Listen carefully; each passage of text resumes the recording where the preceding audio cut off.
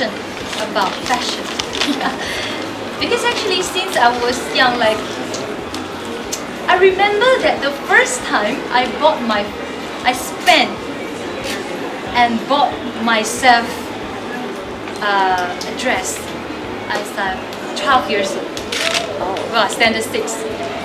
That is the year that I realized that what is beauty.